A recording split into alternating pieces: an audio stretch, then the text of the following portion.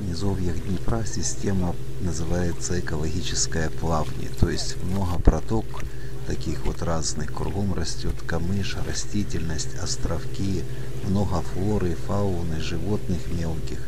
И люди их подпаливают, и получается столько гибнет и животных, и отложенных яиц ихних, и всего. И это происходит и весной, и осенью. Дальше вы посмотрите кадры с этим и уникальные фотографии.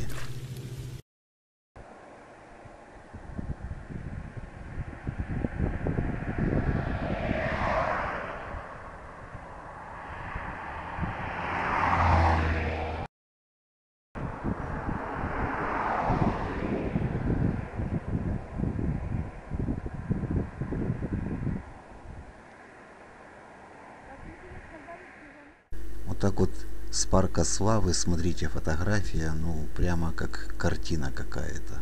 А дальше масштабы на полях вот такие.